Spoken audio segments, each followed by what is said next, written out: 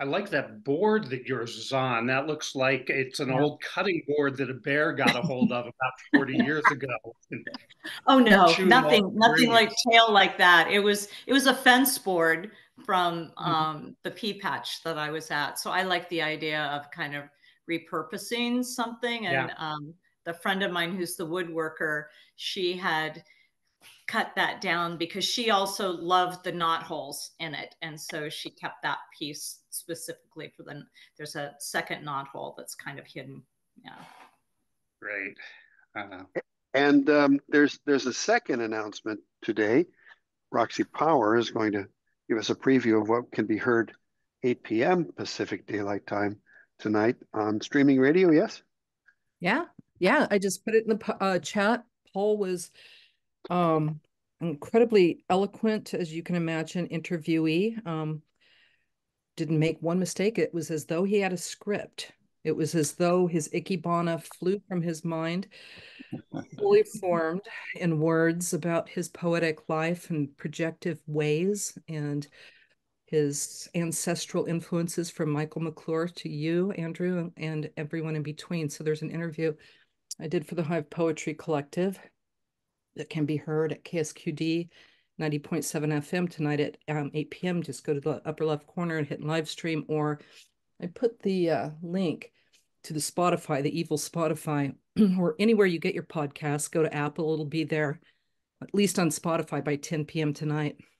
Okay. So it's going to be live tonight, or is it going to be? It's a live stream. So it'll seem, in other words, uh, tonight's the radio show. We have a regularly ske- scheduled Sunday night, 8 p.m. show for the Hive Poetry Collective, who also puts on poetry events in Santa Cruz. Mm-hmm. All of us are podcasters as well, mm-hmm. and radio folks. But the big All radio right. folk is, uh, oh, sorry. Uh, wait, wait, thumb, do it. Uh, Paul, who's been doing what? this for so many years that uh, I'm an apprentice to him, really. I just started doing this last year.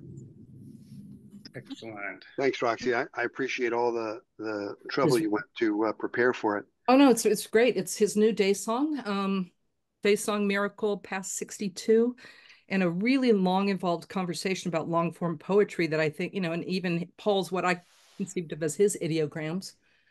Um, so I brought you in there in our pound class Schelling if you want to listen long enough to find yourself, as well as Matt Trease' beautiful introduction to Pig War. So I got the noetic knots in there a little bit, Matt. So much I didn't get in, you know, about Paul's long books, but um, we tried. Thanks, Roxy. It was it was a real honor to be interviewed by you, and I appreciate the sacred nature with which you prepared for it, and that doesn't happen very often. Thank you for interviewing me, Paul. I enjoyed interviewing you. Mapes Creek is a little creek running by our house here, uh, and uh, we're doing a blessing on the 27th. Well, we're spending a thousand dollars to fly into Seattle and being a part of if you don't live in the greater Puget Sound region. Um, and uh, the Lushootseed word, Nook Wokweb, is what we have up there. And we have several speakers, including those from the Soto Zen tradition, a Wiccan priestess, a couple people from Serve Ethiopians Washington, and a fish biologist originally from Philadelphia was very involved in sprucing up the park. And they had the grand reopening yesterday from noon to four. So Veronica Martinez and I were staffing the table. In fact, that's, I could, and Zach Charles also, your your postcard poetry postcard friend. So that's a lot of announcements. Um, 308, we killed eight minutes already, Andrew, and I'll, the rest are up to you. Well, actually, there's two more announcements. Okay, good. First of all, I'm going to be um, on the San Juan Ridge in California giving a poetry reading next Sunday. So um, we're going to delay um, this. We, will we'll skip a week and add a week. So we'll have two more meetings, which will be April 28th and May 5th. And we're going to skip next week, which is April 21st. Um, yeah, so I'll be up uh, reading with a few of the old time bioregion places, uh, people, you know, Northern California and that sort of thing. If any of you know Jim Dodge or Jerry Martien, uh, uh, several other people. Um, uh, so anyhow, um, let's see, and let's see, saying, wait, were you before 28?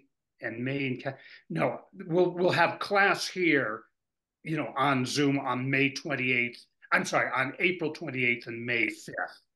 April 28th and May 5th. So we'll we'll skip next week. Okay. Where's the San Juan Ridge? What's it's um it's uh you know it's it's in the foothills of the Sierras above Nevada City, but it's a oh. place that's been um, a center for poets a long time. It's where Gary Snyder sort of convened a community.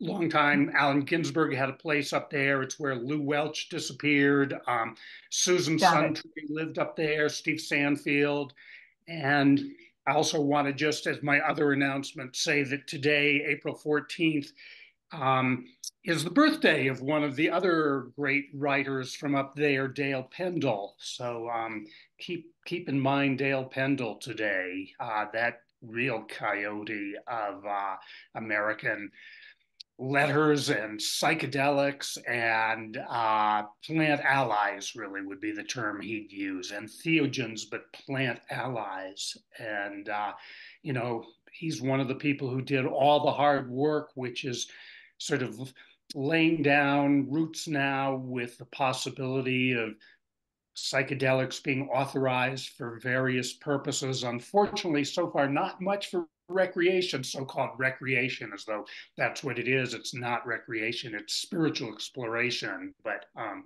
you know, the, uh, the world is changing in some ways, interestingly. Um, good. So let's see. Um, I think that's all the announcements, unless anybody else has anything they want to weigh in with.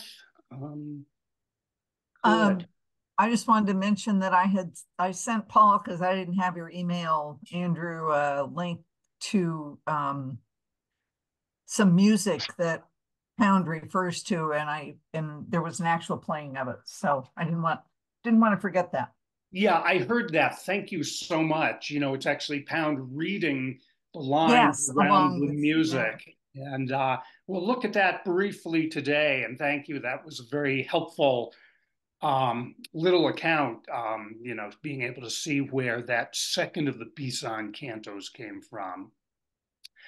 Uh, before we get going, any um, overarching comments or questions anybody wants to make about the Pisan cantos and where we are heading now with them? Um, uh, I guess maybe then what I will do, I as as I have often done, I like to read in a little bit of a circle, or you know that wonderful word that Sally just used repurpose. So I want to repurpose an earlier canto now.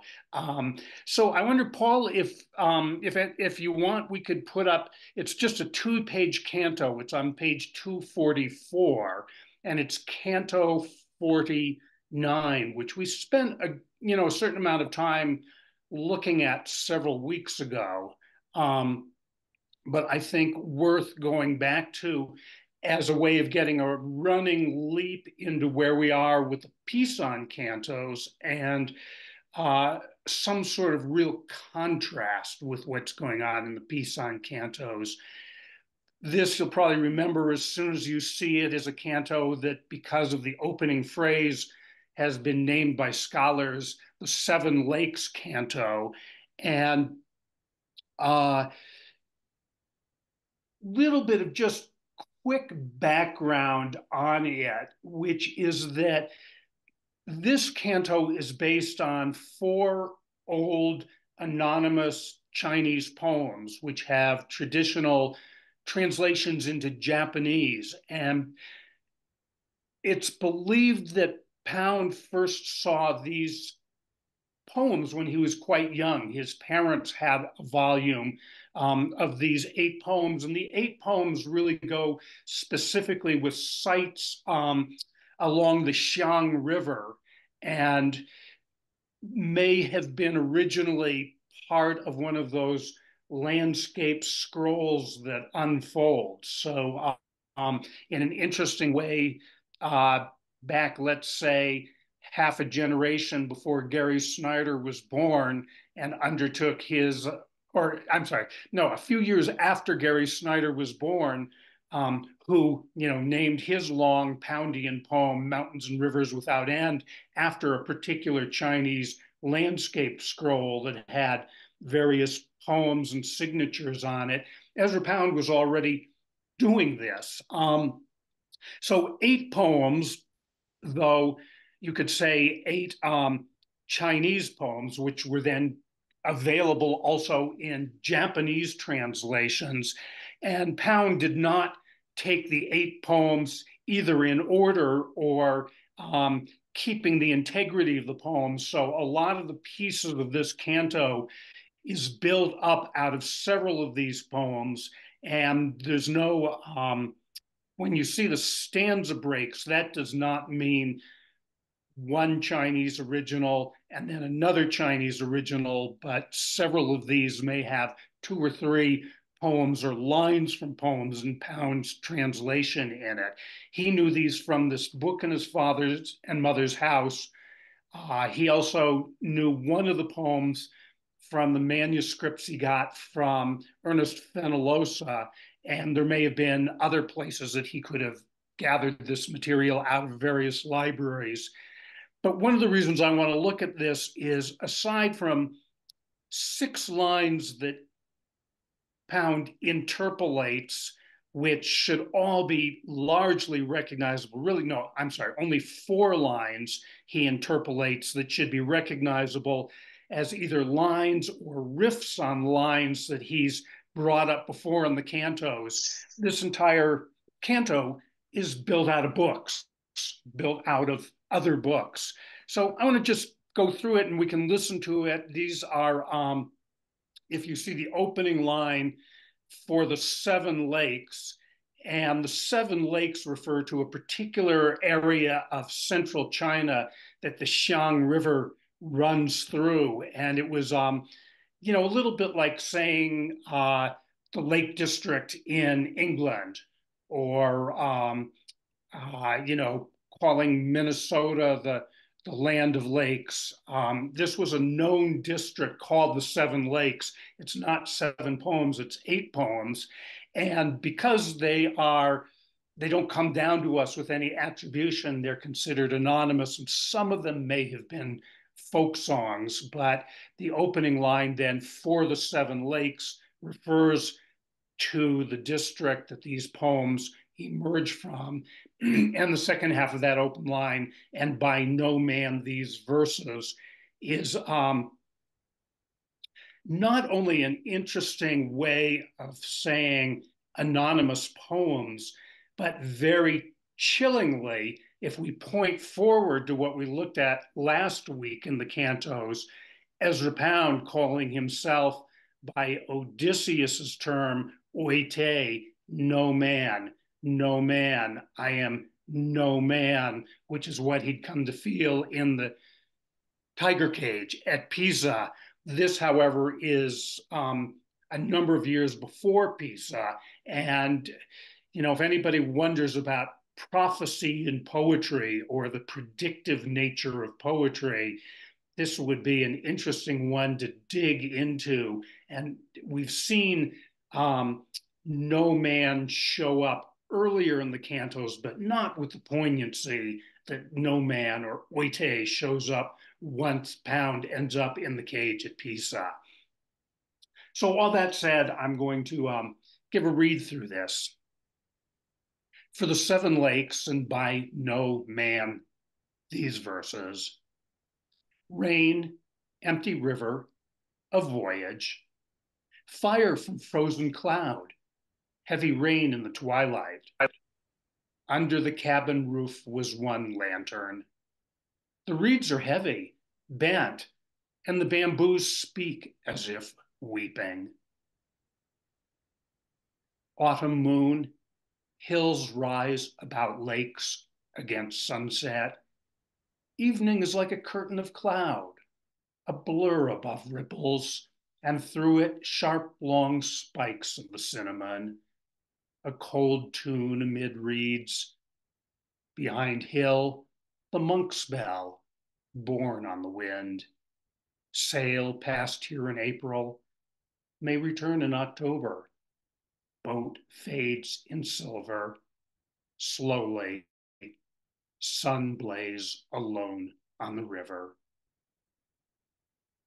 Where wine flag catches the sunset, sparse chimneys smoke in the crosslight. Comes then snow scur on the river, and a world is covered with jade. Small boat floats like a lanthorn. Flowing water clots as with cold. And at San Yin, they are a people of leisure. Wild geese swoop to the sandbar. Clouds gather about the hole of the window. Broad water. Geese line out with the autumn. Rooks clatter over the fishermen's lanthorns. A light moves on the north skyline, where the young boys prod stones for shrimp. In 1700 came sing to these hill lakes. A light moves on the south skyline. State, by creating riches, should thereby get into debt. This is infamy. This is Geryon. This canal goes still to Tenshi, though the old king built it for pleasure. Ke men ran ke, kyo man man ke, jitsu getsu ko kwa tan fuku tan gai. Sun up, work, sundown, to rest. Dig well and drink of the water. Dig field, eat of the grain. Imperial power is, and to us, what is it? The fourth, the dimension of stillness and the power over wild beasts. Let's come back to full screen, Paul, for a moment. Um, so, what I want to just think about with that poem for a moment is that that is a poem built out of other poems almost entirely. And while Chinese scholars can go into it and show all sorts of mistakes that Ezra Pound made, including um, uh, making what he calls San Yin as a place name. San Yin actually means something like the south wind. Um, he's mixed up lines from different poems, but he's built this entirely out of lines of poetry, with the exception of those four lines. The first one, state by creating riches should thereby get into debt. This is infamy. This is Geryon. And then at the end, we've seen before the fourth, the dimension of stillness and the power over wild beasts. We know from earlier in the cantos that the power over wild beasts comes from Dionysus, who is also Adonis.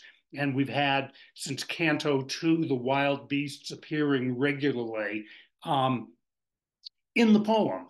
Um, so, in some senses, these four lines, even that Ezra Pound has interpolated into the Chinese poems are really lifted out of earlier cantos. A visitor asked Pound about this canto, and he said he considered it to be a glimpse of paradise. Okay, this is Canto 49. Um, if Pound was going to keep with his hundred cantos that he believed he was writing, this would be about halfway. Um, so, a nice place to get a first glimpse of paradise. Um, it's interesting to think that his glimpse of paradise is, first of all, built out of old books.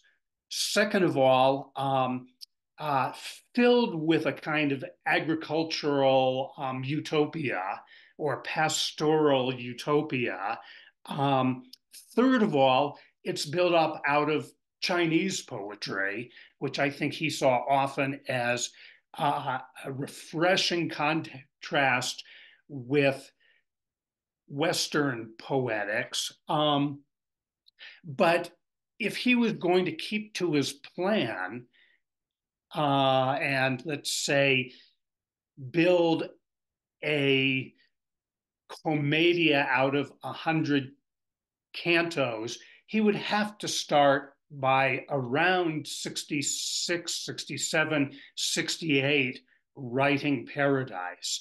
And writing Paradise is what he was hoping to do with his poem, following the Dante model 33 or really 34 cantos of hell, another 33 of purgatory, and then at 67 or 68 moving into paradise. So I think now we can move forward to Canto 74, which is the Pisan cantos. And yeah, Roxy, let me uh, interrupt. Boy, that yeah. I, I really didn't want to interrupt you. Um, but at some point, maybe not now, um, I would love to know if you know other people since Pound who have interpolated him. Um, I'm interested in doing a, I don't know, um, probably tertiary interpolation myself of this particular poem because our family paradise in Wyoming was known as Seven Lakes. We had to winch oh. ourselves oh. up there because there was no road to it. And as soon as I saw a line opening with Seven Lakes, and I'm in the middle of a book that I'm trying to write now, trying to find the right place, a book that includes rivers. So I'll go back to Snyder, Mountains and Rivers Without End. But if there are people who have done this well, because I'm sure that we've all piggybacked, or many people have piggybacked, probably including yourself on Pound. And I'm interested in finding how to, like Yertle the Turtle and Dr. Seuss, piggyback all these turtles on top of each other. Um, without falling into the river, so to speak. So that can be another conversation another time if any of that made sense. Yeah, it did. I mean, you know, there there have been people who um, really know Chinese culture who have written on this particular canto. And um, you can find that in the uh, Carroll Terrell, uh, what's it called? The Guide to the Cantos. If you look at Canto 49, he'll give you several references um, yeah, there's uh, it's being held up, the Carroll Terrell, a companion to the Cantos of Edward Pound, and that will give you some references which will take you to various Pound scholars, including one of my favorites, a character who was at Harvard named Achilles Fang, F A N G, um, who, you know, uh, if you almost couldn't have a better name for somebody who was going to write on the cantos than Achilles Fang um, you know, that Homeric first name and the Chinese surname. Um, but then there have been other people who've written, you know, poems on rivers and particularly I think of Lewis MacAdams in Los Angeles, who wrote a three volume book on the Los Angeles River and, you know, the sort of fate of it and I mentioned a few moments ago from San Juan Ridge, Susan Suntree, who's lived a long time in, San, in Los Angeles, has been doing a lot of digging into Los Angeles as a place and not only writing poems, but doing performances. And I bet there's YouTubes of her, um, you know, working on, on the Los Angeles River and various other aspects of things down down Los Angeles region. Paul, I see you got a hand up. I think Roxy had one more. Roxy, did you get your question answered? Oh. Yeah, thank you. Sorry, I'll re remove my hand. Well, you you said that um, he he went to the Chinese as a sort of uh, reaction to the poetry of his day, and we're talking about romantic poetry by and large, which when, when uh, certainly when he was writing in 1912, that was pretty much what we've had. So, can you uh, elaborate a little bit on what he was some of the excesses of romanticism and and uh, what he was responding to, what he didn't care for in that? Well, that would you know that would take you back to his book Cathay, published during World War One, and I think all the way back to that point, he was seeing Chinese poetry and to some extent maybe Chinese culture as um, having some pointers to break the hubris of Western civilization. I think it was less romantic poetry he was opposed to than the kind of clotted. Um, you know, when he was when he was in England, you know, think of who the, you know, the the when he first got to England in 1908, 1909, for the first five years, who would have been the major poets? Alfred Lord Tennyson, William Morris, Dante Gabriel Rossetti, Algernon Charles Swinburne. I mean, all of these people whose poetry was locked in the past and was so far removed from colloquial common speech and so far removed from the sense of I'm a human being and I can sit down and talk to another human being through my poetry. And it would lead Ed Sanders and the Fugs to do something like the Swinburne Stomp. yes, yes. And, and that's not to malign any of those people, but it is to say that Pound was really trying to find his way forward. Um, and and I think the Chinese poetry gave a clarity and a permission to, um, you know, as he would say, the natural object is always the adequate symbol. You don't need roses and goblets and Arthurian swords and unicorns. You can speak about what's in front of you, um, you know, to get get across what you want. And so the natural symbol, I mean, natural object is always the adequate symbol. He Eclat the poem. And then he was also doing another interesting dance, which is, you know, we read last week that spooky solo canto in which Marinetti shows up and wants Pound's body. And then somebody grabs Pound's wrist, and you know, a disembodied hand grabs his wrist and pins him to the wall. But at one point, he's saying to Marinetti, You wanted the future too much. I wanted the past. I just read an interesting little anecdote that the Vorticists, Pound's friends, Wyndham Lewis and Gaudier-Brzeska and Pound's wife, Dorothy, all went to hear Marinetti speak.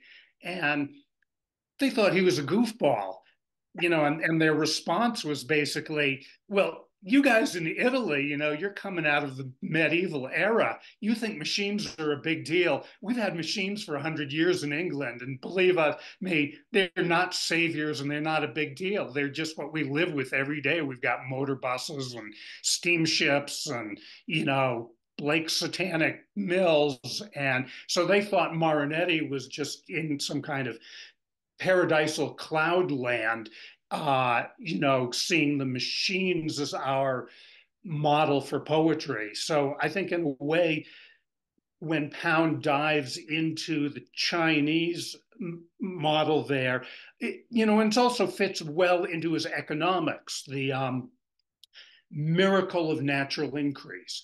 The earth just has goods that it provides us, as opposed to what he calls usury or geryon, which is to say, the flow of goods, the flow of wealth gets appropriated or stopped by various powers. So I think that's, you know, it it it it fits well into his model, the celebration of a kind of simplicity. Um, and you know, and then add into that when Cathay came out, there was probably no doubt in the basic European mind that Europe was the pinnacle of civilization.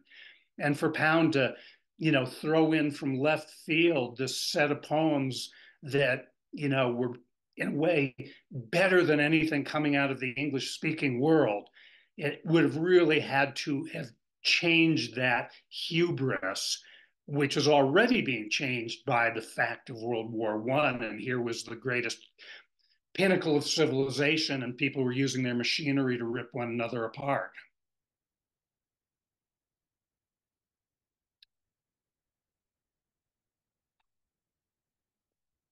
Good. Well, why don't we go to where we left off last week in Canto 74? So if we could right. go. Andrew, can I ask you one more thing? Sorry. Um, yeah. I, I was trying to, I was racking my brain as you were talking because I went to Cornell through an MFA program with one Timothy Billings, who wrote on Ezra Pound's Cathay and Chinese poetry. Are you familiar with his work? I think he might be someone along with those folks that you mentioned, but I'll, I'll put his name in the. I think I think yeah. I know some of his work on Cathay. Yeah. Okay. Yeah. All right. Great. So why don't we go? Um, uh, Paul, maybe to page 435, right more or less to where we left off um, in the cantos. And as you scroll for a few pages here, everybody look too at the sort of newfound um, uh, layout on the page of the canto here. Um, so page 455, Paul, which I think will go on a few pages on. Yeah, about 10 pages on.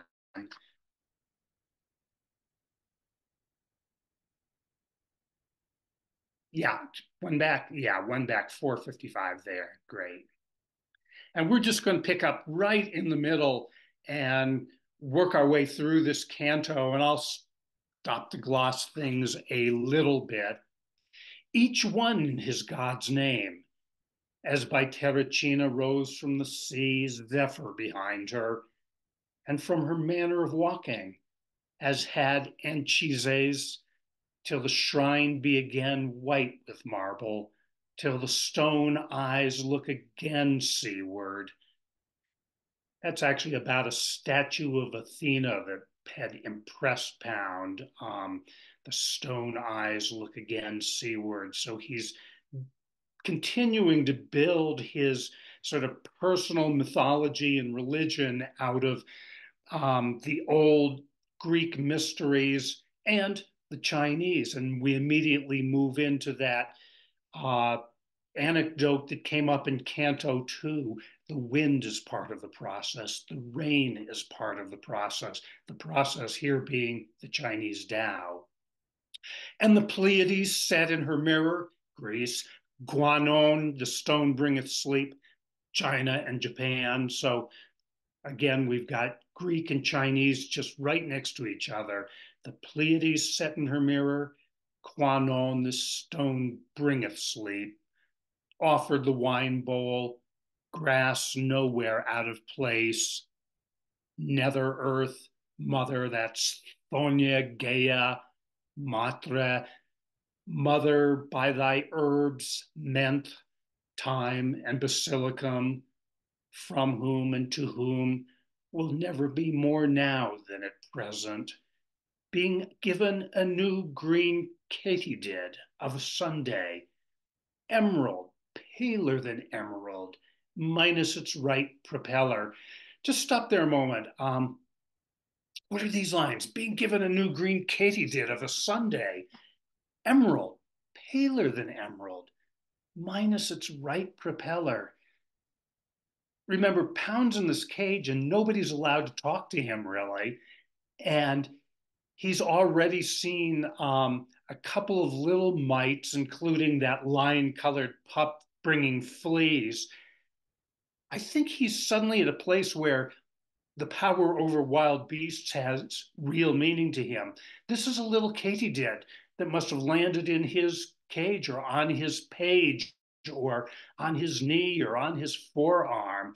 And the way he beams down to look at this, I don't think there's any place except possibly a few of the descriptions of southern France when Pound walked through.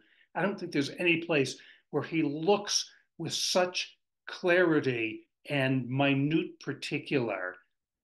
And the gift he gets here is from, well, he's named her Matra, mother, and we've had the Pleiades and Kuanon. So all of a sudden there are these um, sort of mother goddesses appear because there's nowhere else he'd be given a new green katydid being given a new green katydid of a Sunday. Emerald, paler than emerald, minus its right propeller. This tent is to me and Tithonus, eater of great pulp, in coitu illuminatio, that's his um, sort of phrase of what he thinks the Eleusinian mysteries were about the, the illumination, the luminosity, the light of coitus, eater of grape pulp and coitu illuminatio. Manet painted the bar at La Cigale or at Les Folies in that year. She did her hair in small ringlets, a la 1880 it might have been. This is usually glossed as being a remembrance of his girlfriend Olga Rudge. Red, and the dress she wore, Drecoll or Lanvin, a great goddess. Aeneas knew her forthwith, by paint immortal as no other age is immortal. La France dix-neuvième, Degas, Manet, Guys, unforgettable, a great brute sweating paint, said Vanderpyl 40 years later, of Vlaminck. Notice, you know, just the memory here, just the names he's beginning to invoke of previous artists and the memories of Paris where he first met Olga Rudge and how she did her hair and all this coming right after the little katydid that has landed and given him a power over wild beasts and brought him to that phrase in coitu illuminate, illumina, in, in illuminatio. For this stone giveth sleep, staria senza più scosse, it would rest without further tossing. This is his state of mind with the um, insomnia he's suffering from, pain in his eyes, and he's thinking of that stone, that sapphire, that blue sapphire. For this stone giveth sleep, staria senza più scosse, and eucalyptus, that is for memory, under the olives by cypress.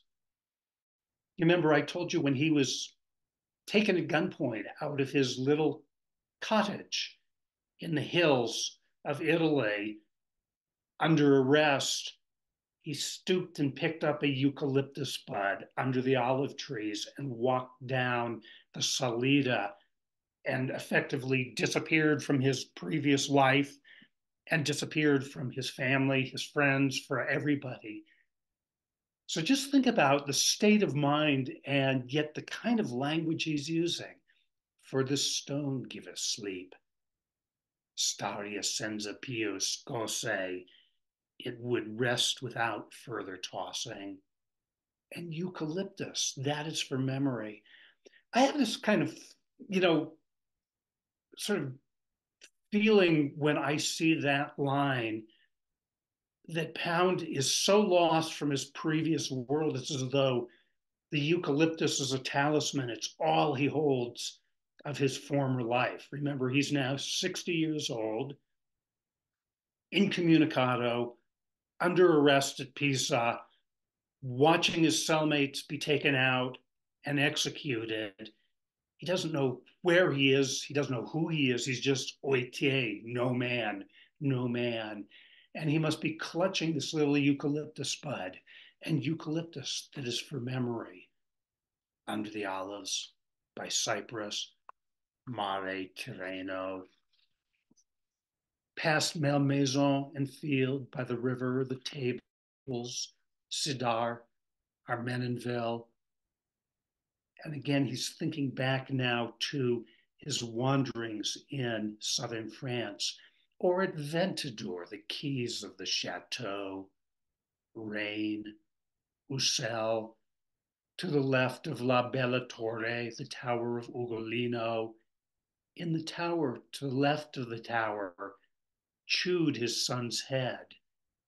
Ugolino is a figure who shows up in Dante's Inferno chewing his son's head for various infractions he had made on Earth. Um, and the only people who did anything of interest were H. M. and Frobenius, der Geheimrat, der im Baluba das Gewitter gemacht hat. Frobenius being an anthropologist that he was very interested in the theories of who did work in Africa and Australia. And he's thinking about in Baluba in Africa. Um, and Monsieur Jean wrote a play now and then. or the possum.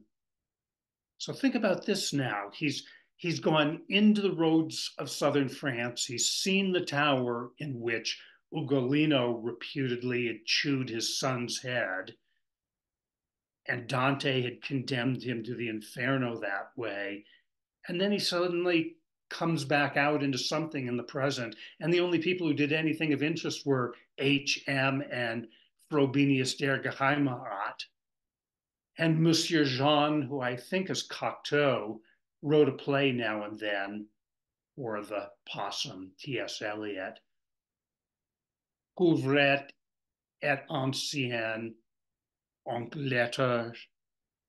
ne lus. And then I think this comes now to be the heart of the whole book, really.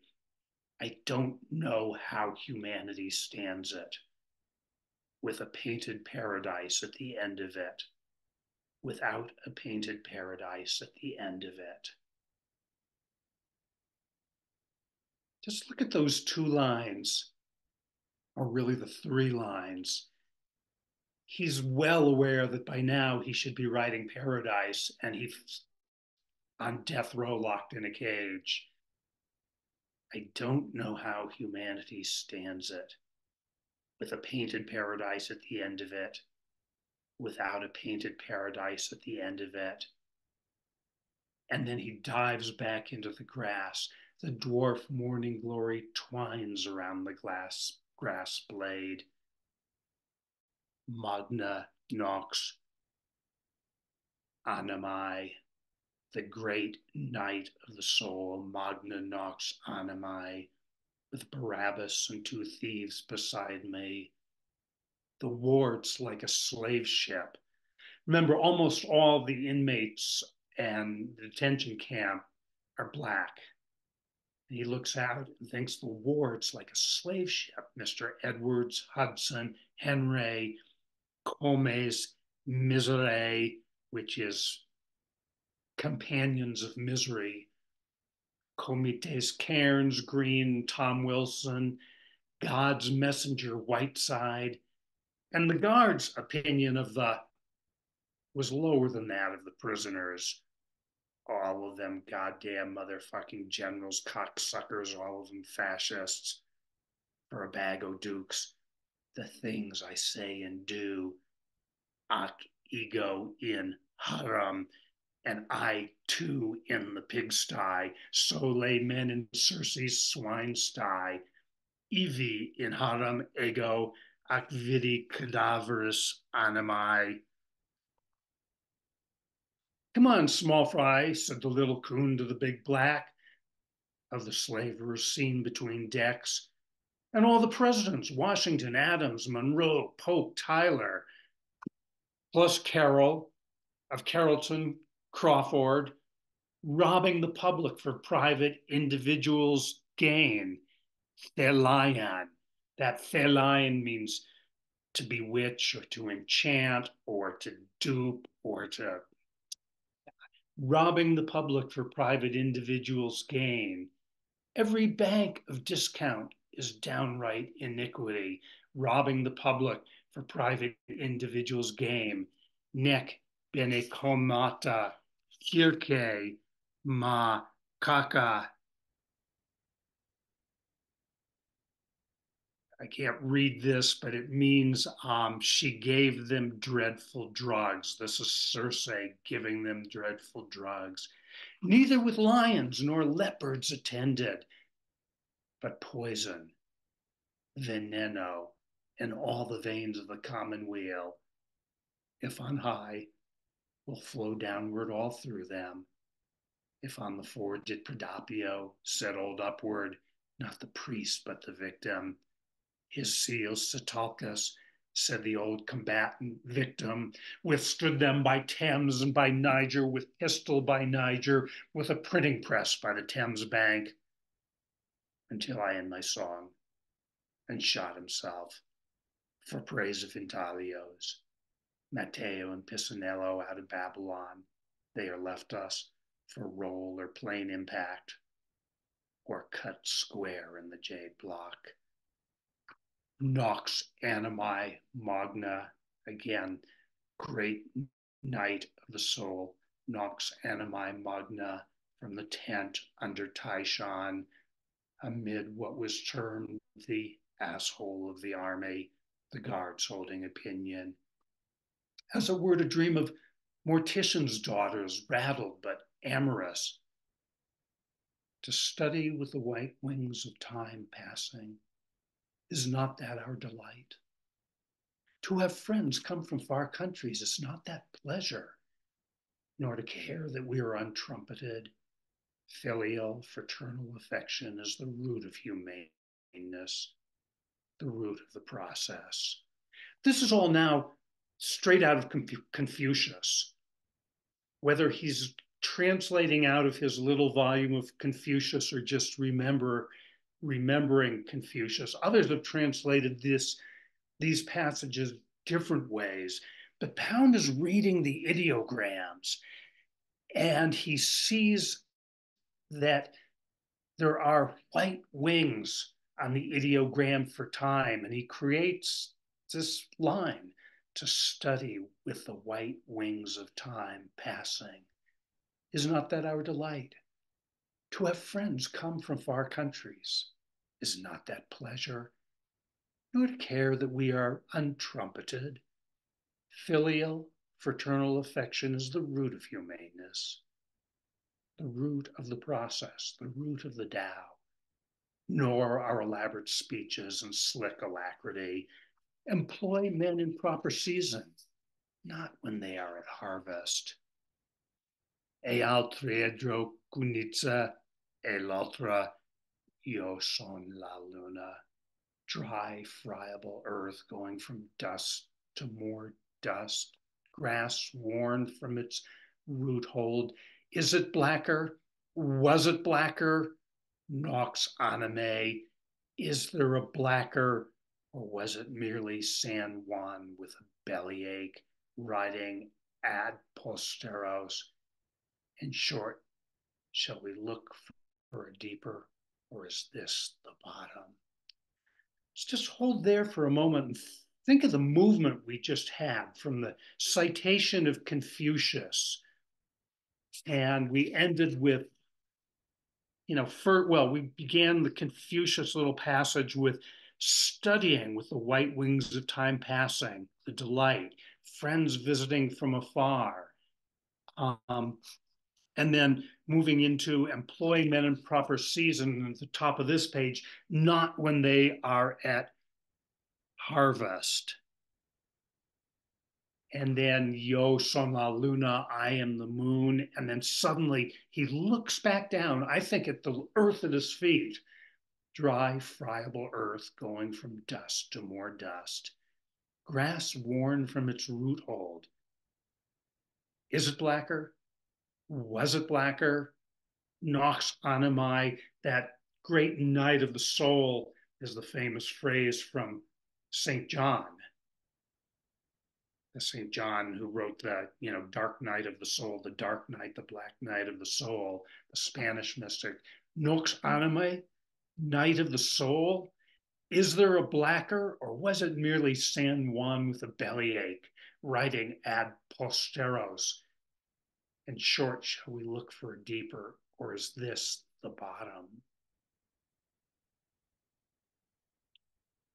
Again, a clue to what must be Pound's state of mind. Shall we look for a deeper, or is this the bottom? And then he goes back to Ugolino, the tower there on the tree line.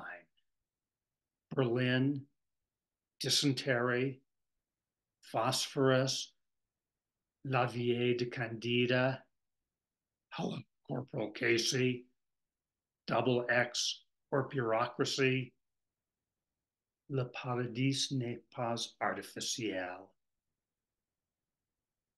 Any of you recognize that from Baudelaire? Le Paradis n'est pas, n'est pas artificiel. Paradise is not artificial but spezzato apparently. Spezzato means broken or fragmented or splintered or scattered. Paradise n'est pas artificial. It's not artificial, but it's splintered apparently. It exists only in fragments. Unexpected, excellent sausage. The smell of mint, for example. Ladro the night cat. Notice how the cat has reappeared here with the thought of paradise. But I think this is, you know, in a way, if if that Seven Lakes canto was a glimpse of paradise, and we know that it's built up out of fragments of the Chinese and the Japanese, this is remarkable that he's holding on to that sense of things. Paradise, le paradis n'est pas artificiel, but spezzato, apparently. It exists only in fragments. Unexpected excellent sausage. What is that? I don't know. Is that a meal he's been delivered in the in the camp? Good Italian sausage. The smell of mint, for example. I mean, this is where he is now. Is paradise may be only fragments, and it may simply be that smell of mint under the tent flaps that he mentioned earlier. Or Ladro the night cat, the cat that comes visiting. at Nemi waited on the slope above the lake, sunken in the pocket of hills, awaiting decision from the old lunch cabin built out over the shingle. Zarathustra now desuete, obsolete, Zarathustra now obsolete, to Jupiter and to Hermes, where now is the Castellaro. No vestige save in the air. In stone is no imprint, and the gray walls of no era. Under the olives, secularum Athenae, and then this glaukos glaukonos in the Greek is a pun that has troubled scholars for a long, long time. One of them means she of gray eyes, and that was an epithet for Athena, and the other means owl. And so the owl has always been seen as the bird of Athena, but nobody knows quite what the connection is between Athena, who is described in Homer as having gray eyes, and the owl. But old statues of Athena have the owl as Athena's mount in the way that bodhisattvas in Buddhism have mounts, or the gods of Hinduism have mounts. So we've got the owl, the gray eyed one, Olivi, that which gleams and then does not gleam as the leaf turns in the air. Have we talked about the olive leaves? How one side is green and one gray, and when they turn in the air, you can see gray and then green. And I think this is um, now Pound's view of what paradise might be that which gleams and then does not gleam as the leaf turns in the air. I think this is sort of remarkable here because previously Pound was trying to write Paradise. Great active confidence, hubris maybe. And here he's given it up and he realizes the paradise is absolutely out of his control paradise probably exists. It's not artificial, but it's splintered, it's scattered. It's that which gleams and then does not gleam as a leaf turns in the air. And you can see under the olives where Athena is, the owl, the gray eyed Athena, Olivia, that which gleams and then does not gleam as the leaf turns in the air Boreas, Apeliota, Libeccio. Boreas and Apeliota are, of course, the names of these classical winds in the Mediterranean. Che il babbo, said the young mother. That's the big bear. And the bathers, like small birds under hawk's eye, shrank back under the cliff's edge at Il Pozzetto Articulio, Would, said the guard, take every one of them goddamn motherfucking generals, cocksuckers, all of them fascists. Notice how, in the midst of his view of what paradise is, Pound suddenly can pull in just this string of, you know, the guards talking, talking about the generals, strings of obscenities, strings of just ordinary colloquial talk. There's a there's a mix of language here that I think Pound had been working towards, but might have always been interfered with because he had too many books around. And now he's just got his thoughts and his ears and his eyes. Oedipus, nepotes, reme, magnanimi. So Mr. Bullington lay on his back like an ape, singing, Oh, sweet and lovely, oh, lady, be good. In harum ac ego evi, I also entered the pigsty in harum ac ego evi. Criminals have no intellectual interests, and for three months did not know the taste of his food. In Chi heard Shun's music, the sharp song with sun under its radiance. And then the Greek means clear or shrill, the sharp song, the clear song with sun under its radiance.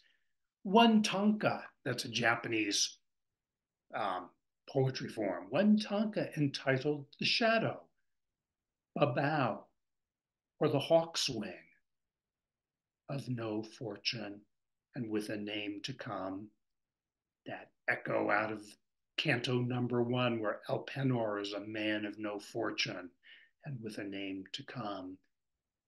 So back to Odysseus, and then quick forward is downright iniquity, said J. Adams at 35 instead of 21.65, doubtless conditioned by what his father heard in Byzantium, doubtless conditioned by the spawn of that great Meyer Anselm, that old H had heard from the ass eared militarists in Byzantium. Why stop to begin again when we are stronger? And young H, the tip from the Augean stables in Paris, with CF in attendance, or not, as the case may have been, thus conditioning. Meyer Anselm, a romance, yes, yes, certainly but more fool if you you if you fall for it two centuries later. From their seats, the blonde bastards and cast them. The yid is a stimulant, and the goyim are cattle in great proportion, and go to saleable slaughter with a maximum of docility.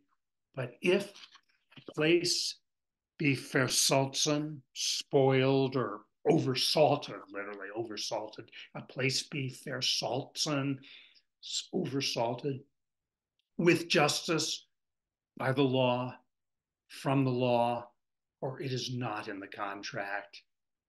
You has nothing pinned on Jehovah, sent and named Shun, who to the autumnal heavens, Sha'o, with the sun under its melody, to the compassionate heavens, and there is also the 19th Leviticus. Thou shalt purchase the field with money, signed Jeremiah from the tower of Hananel unto Goa, unto the horse gate 850 and Anatoth, which is in Benjamin 867, for the purity of the air on Chocorua in a land of maple, from the law, by the law, so build your temple with justice and meet yard and measure. A black, delicate hand, a white's hand like a ham passed by, seen under the tent flap. On sick call, command, command, sick call, command. And the two largest rackets are the alternation of the value of money of the unit of money, metathemenon, teton, chromenon. That means the uh, the alternation of money. So the two largest rackets are changing the value of money and usury, at 60, or lending that which is made out of nothing. And the state can lend money, as was done by Athens for the building of the Salamis fleet. And if the packet gets lost in transit, ask Churchill's backers where it has got to. The state need not borrow, nor do the veterans need state guarantees for private usurious lending. In fact, that is the cat in the woodshed. The state need not borrow, as was shown by the mayor of Wörgl, who had a milk route and whose wife sold shirts and short breeches, and on whose bookshelf was the life of Henry Ford, and also a copy of the Divina Commedia and of the Gedichte, the poetry of Heine, a nice little town in the Tyrol, in a wide, flat-lying valley near Innsbruck. And when a note of the small town of Wörgl went over a counter in Innsbruck, and the banker saw it go over all the Slavs in Europe were terrified. No one, said the Frau Burgomeister, in this village who could write a newspaper article, knew it was money but pretended it was not in order to be on the safe side of the law. So this is the story of the mayor who does an, uh, you know, uh, uh, an experiment with so-called vegetable money issuing bills that are dated. And every month you have to, um, for 10%, buy a stamp to put on the bill uh, to keep its value. And the idea is that nobody can hoard money. You have to keep money in circulation by putting stamps on. And, uh, you know, it was this effort in this little town of Wörgl.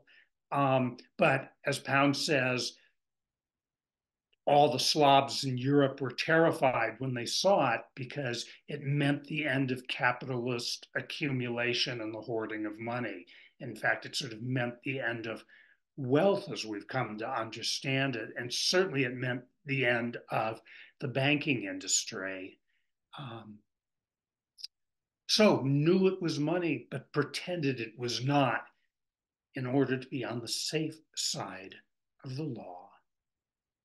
But in Russia, they bungled and did not apparently grasp the idea of work certificate and started the NEP with disaster and the immolation of men to machinery and the canal work and great mortality, which is as may be, and went in for dumping in order to trouble the waters in the usurious Heladice, all of which leads to the death cells, each in the name of its God. Or longevity, because it says Aristotle, philosophy is not for young men. Their katolu cannot be sufficiently derived from their hekasta. Katolu, he's now translating generalities, and hekasta, the particulars or the phalanx of particulars as says Aristotle, philosophy is not for young men. Their katalu cannot be sufficiently derived from their hekasta, their generalities, cannot be born from a sufficient phalanx of particulars. Lord of his work and master of utterance, who turneth his word in its season and shapes it Yao chose Shun to longevity, who sees the extremities and the opposites, holding true course between them, shielding men from their errors, cleaving to the good they had found, holding empire as if not in a mortar with it, nor dazzled thereby, would have put the old man, son père, on his shoulders and gone off to some barren seacoast. Says the Japanese sentry, park your jeep over there. Some of the best soldiers we have, says the captain, Dai Nippon Banzai from the Philippines, remembering Kagekiyo, how stiff the shaft of your neck is. And they went off each his own way. A better fencer than I was, said Kumasaka, a shade. I believe in the resurrection of Italy. Quia impossibile est, four times to the song of Gassir, now in the mind, indestructible. Ah, uh, Paul, let's come back um, to full screen and take a few moments here. Take a little breather. That's, you know, we're still in the middle of Canto 74. This is one of the longer cantos. And, um, but I think, you know, absolutely critical to seeing how Pound's mind is working there, but how his mind is working is creating an entirely new way of composing. And it really is what Olson and Duncan were thinking of as one perception leads directly to the next. And there's nothing coming outside of his mind. I mean, you know, he's thinking of books, he's trying to think of the Chinese history and wisdom he's read, he's trying to think of the Greek mythologies He's trying to figure out where he is. He's trying to remember the fragments of economic history he had. And at the same time, he's looking in the grass and seeing the little creatures down there in the grass. And he's listening to the sentries and the guards. And he's looking at his fellow inmates out there.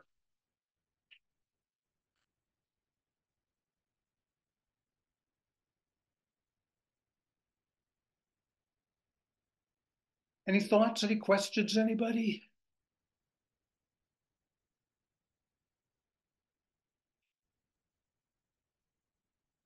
I see CJ, maybe you're asking something. CJ, you're, you're muted and we will hear you better if you can unmute. Thank you. My apologies. Um, why does he use abbreviations for something like asshole and all of the other cursing? um, and you read it so clearly and i'm going well why is why is he hoping the reader knows what this is um, everything is so straightforward in some uh, horrible circumstances that have occurred and so yeah, that's a really good question. I don't know. It's quite possible that his editor, James Laughlin at New Direction, was concerned that, you know, the book would be accused of obscenity. I mean, it, you know, we still hadn't had the Howl trial, which would be, you know, 48 to um, what, 58. It would be at 10 years before um, those words would go on trial, and probably James Laughlin. Um, and and I, I just read them clearly because it's a little more awkward to read CSFM. And I just thought, you know, I've read it enough. That's, I hear it now. It's cocksuckers, motherfuckers, all of them. And, uh, you know, I think that's how anybody who reads it would hear. But I think probably he, you know, it was his publisher's decision. Um, just, uh, you know, I mean, again, this is this is something fairly new in poetry. We haven't gone through the beat revolution. We don't have you know, the uh, trials around Howl, the trials around Lenore Kandel's um, love book. Uh, we've had trials around Ulysses, but Ulysses doesn't even really use words like that for the most part. Ulysses has, you know, maybe sexually explicit material going on, but this is this is something new to be putting into the poems there. I'm trying to see when this is printed and um, why are we still doing that? well, nobody went back and decided to, to change it.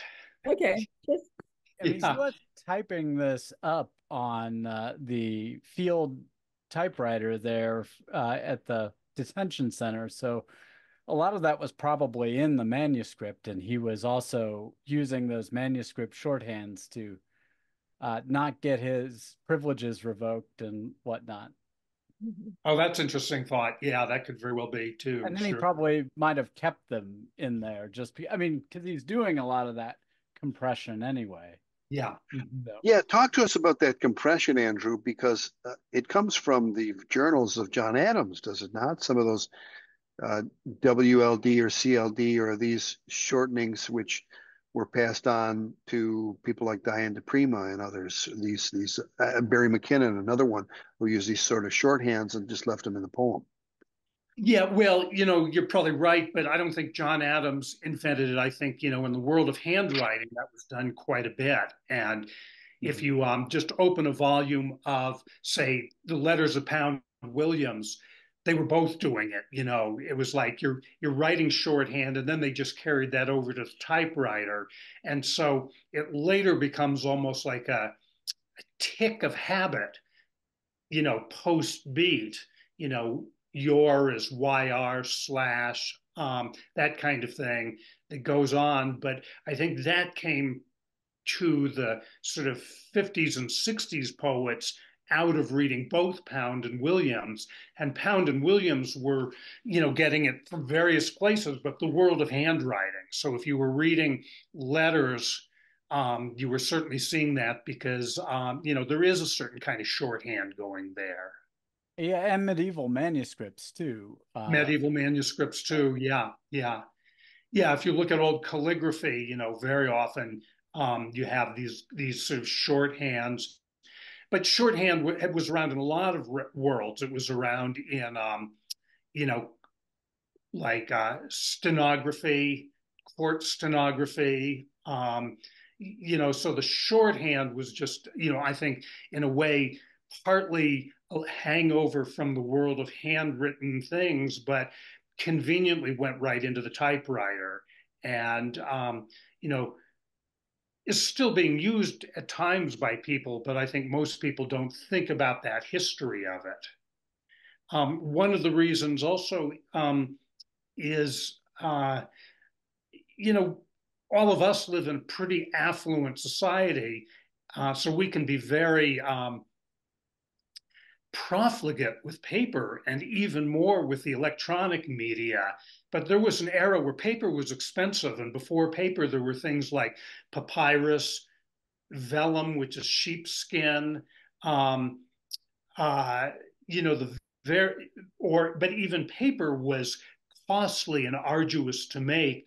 So, in the interest of not wasting space, a lot of these kind of shorthands came up. So when Pound was reading the letters of Jefferson and Adams, um, you know, those two were following a long tradition of paper was a scant resource, or writing surfaces, let's say, were a scant resource. So those kind of, you know, compressions.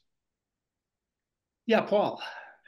Andrew, you said it may be the center of the book, the main thrust. Uh, I forget exactly how you worded it, but I don't know how humanity stands it. Can you elaborate on that?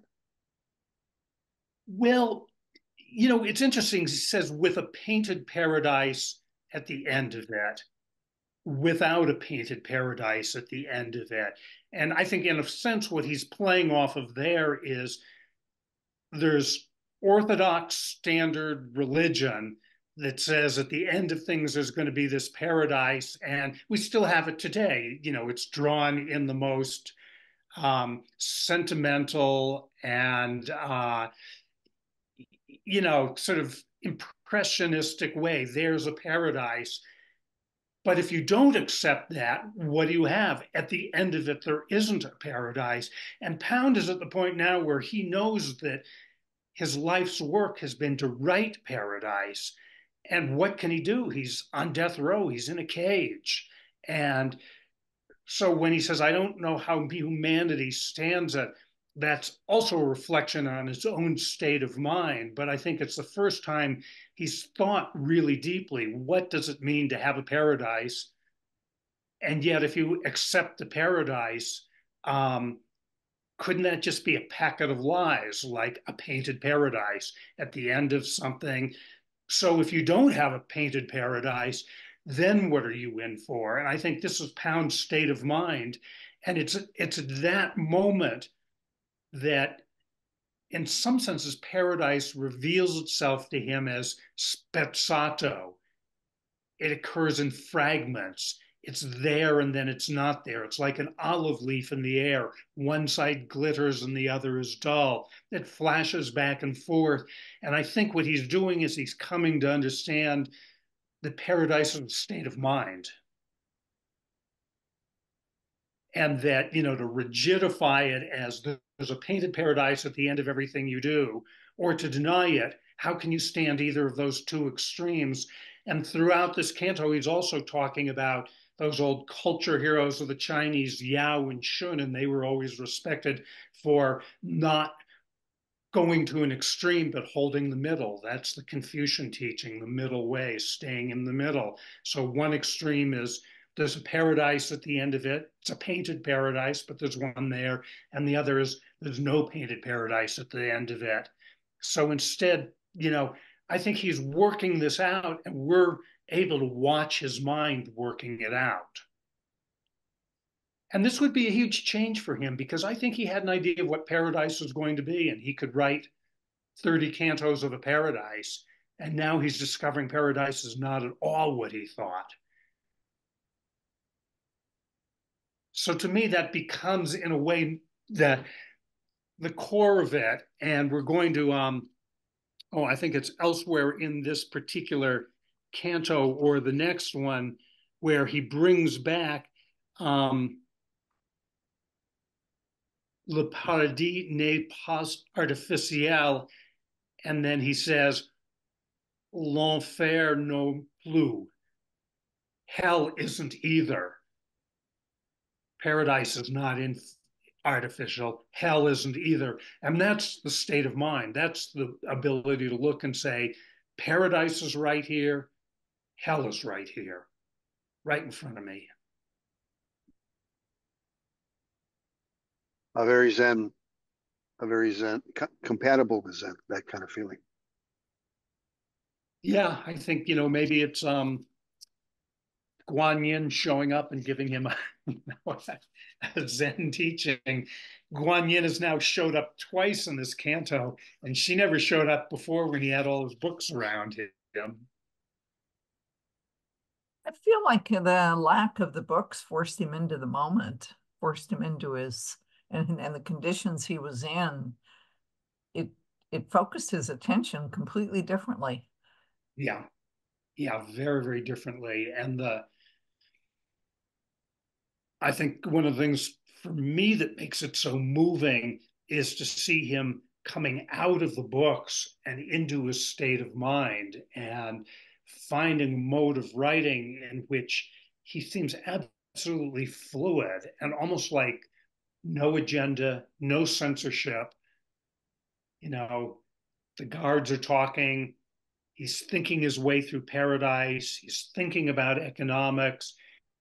He's seeing goddesses around him. Um, you know, just a great deal of material going on there.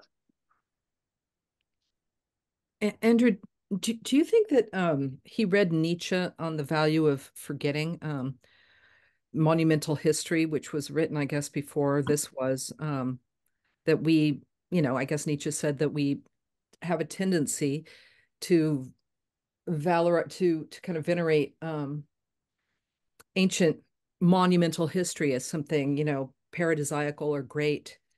Um, thinking about Coleridge's Kubla Khan and then Rush's, you know, revisitation of the milk of paradise as being something in the past that we look to. And then now he's looking, you're saying, through these bars at the present um, and having a different viewpoint about the past. Again, kind of Zen. Mm-hmm, mm-hmm. Yeah, I doubt he read. I doubt he read Nietzsche.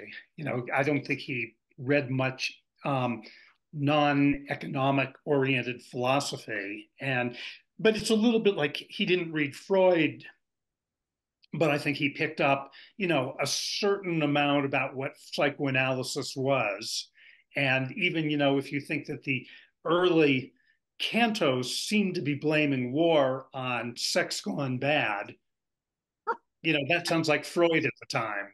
What is war? War is libido that's you know being repressed and coming out in these other ways. So so he's part of his time. So he could be sounding a lot like Nietzsche in ways without necessarily having to read Nietzsche. It would be, you know, conversations in the air in a way.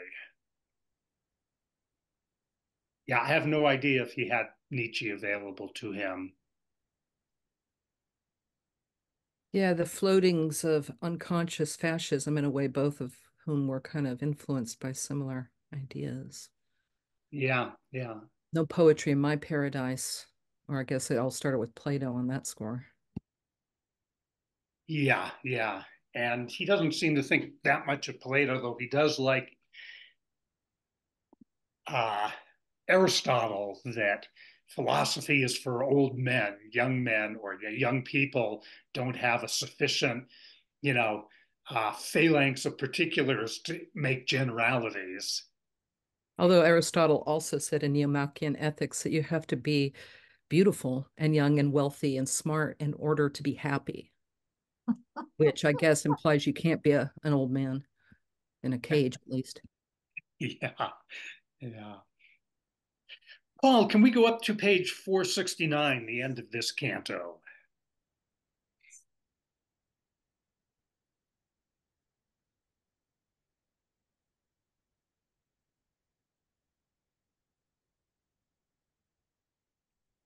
Serenely in the crystal jet, as the bright ball of the fountain tosses, Verlaine, as diamond clearness, how soft the wind under Taishan, where the sea is remembered, out of hell, the pit, out of the dust and glare evil.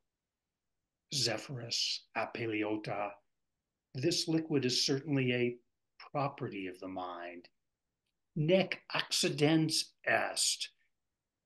But an element, that nec accidens est means it's not a, it's not, it's not just an accident of the mind, but an element in the mind's makeup est agens and functions dust to a fountain pan. Otherwise, hast thou seen the rose in the steel dust, or swan's down ever? So light is the urging, so ordered the dark petals of iron. We who have passed over Lethe I think we all know what Lethe is, right? It's one of the rivers of Greek underworld. It's the river of forgetfulness. And I think that we who have passed over Lethe, he means everybody's passed over Lethe, and he's living in a world of forgetfulness. And now we'll move to the next page, Paul, the next canto, which also is quite radical in format. Music by Janequin, piece called Birdsong. But we have to start with another river in the underworld, Phlegethon, which is the river of fire. He's talking about we who've passed over Lethe, but out of Phlegethon, the fire river, out of Phlegethon, Gerhardt, art thou come forth out of Phlegethon? With Buxtehude, and Klages in your satchel with a Ständebuch of socks in your luggage, not of one bird, but of many. Um, Gerhardt was a friend of Pound's who played music with Olga Rudge, and Pounds has sponsored quite a few concerts with Gerhardt and Olga Rudge. And clearly, when he was in the cage at Pisa, he did not have access to this musical score, but he knew he was going to put into it. And hang on to that line, not of one bird, but of many, because he's going to start seeing birds on phone wires looking like musical notes. Uh, and then here comes the score of Janequin's Bird Song, which uh, CJ had I'm sorry, no, who was it? Was it Diana? You're the one who came up with the music for that. Paul, you might see if you can retrieve that and post the little YouTube video because it's sort of interesting to get a little background of this musical piece and Gerhardt and Olga Rudge. But scroll down to the bottom of the musical piece and we'll look at one other really interesting thing he has done here. We can go to the bottom of the next page. Do you see right down at the bottom, the last thing besides the page number, are two little hieroglyphs that looks like a sideways dorji and something like an R. Those are old bone inscriptions from China um, that say, make new. We, um, one of the phrases associated with Ezra Pound is make it new or day by day make it new. And we skipped over that because it really comes up in the Chinese cantos, but it's a call for renewal. And so just interesting to have this call of his in this canto to his old friend Gerhardt, out of Phlegethon, the river of fire, art thou come forth? And then almost like um, in such a pedestrian way with books to Buxtehude and Klages in your satchel, with a standard book of socks in your luggage. These are all sort of musicians in the satchel of Gerhardt, not of one bird, but of many, and the bird song of Janequin, and then closing off the canto with you can see a date there 28 9 33 Milano, and then make it new.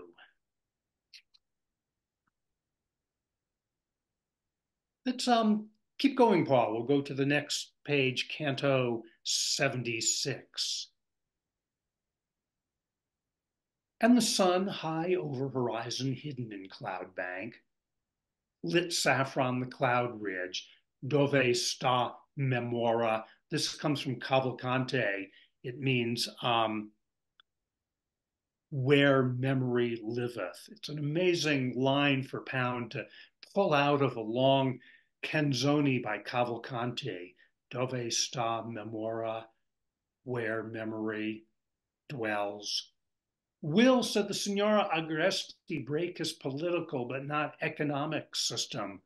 But on the high cliff, Alcmene, Dryas, Hamadryas, Ac Heliades, flowered branch and sleeve moving, Dirce et Igiota, e che fuciamata primavera, in the timeless air, that they suddenly stand in my room here between me and the olive tree. I take this as, you know, actually happening to him. This is the dryads, the hamadryads, and the heliades, or the sun goddesses, um, Dirce et Ichota, and the one who is called Primavera or spring all these goddesses in the timeless air, that they suddenly stand in my room here between me and the olive tree. Or nel plivo et al triedro on the slope at the sort of trihedral corner between me and the olive tree, or on the slope by the trihedron, and answered, The sun is in his great periplum, leads in his fleet here sotto le nostre scogle, under our cliffs, under our craggy cliffs, level their mast tops. Sigismundo by the Aurelia to Genova, by La Vecchia sotto San Pantaleone, Cunizzica, Pedro, e La Scalza, and she said, I still have the mold. And the rain fell all the night long at Ussel, set Movisa, Veng blew over Tolosa. That rotten wind set Movisa, Veng. Can hear the malodorous blowing of the Vang, The Movice of Vang blew over Tolosa. And in Mount Segur, there is wind space and rain space. No more an altar to Mithras, from Il Triedro to the Castellaro, the olives gray under gray holding walls, and their leaves turn under sirocco. La scalza, io sola luna, I am the moon, and they have broken my house. The huntress in broken plaster keeps watch no longer. Tempora, tempora, and as to mores, by Babylonian wall, Memorat out of his bas relief, that line, we recall him, and who's dead, and who isn't, and will the world ever take up its course again? Very confidentially, I ask you, will it? With Dieudonné dead and buried, not even wall or Mouquin or Voisin or the cake shops in the Nevsky. The Greif, yes, I suppose, and Schöner's and perhaps the Taverna and Robert's, but La Rupa no longer, La Rupe, finito. Pré-Catalan, Armenonville, Bullier, extinct as Willie, and there are, I suppose, no reprints. Théophile bric-a-brac, Cocteau's bric-a-brac, Seadrift snowing them under, every man to his junk shop. House should have been built in the 80s or 60s for ah that. But Eileen's trick sunlight softens London's November. Progress? BH, your honor. Balls for your honor. Progress. La pigrizia, to know the ground and the dew. But to keep them three weeks. Chung, this is the middle way. Chung, the middle between the painted paradise and the no painted paradise. To but to keep them three weeks, chung, the middle, we doubt it. And in government, not to lie down on it. The word is made perfect. And that there is sincerity. Um, I can't use a pointer here, but if you see on the right hand side, there's a figure. It's sort of a man with legs and an arm. And to the left is an open mouth with words coming up out of it. That's the Chinese word ideogram for sincerity, which Pound reads as a person standing by their word, open mouth with words, and a person standing by. Better gift can no man make to a nation than the sense of Kung Fu Tzu, Confucius, who was called Chungni, nor in historiography nor in making anthologies.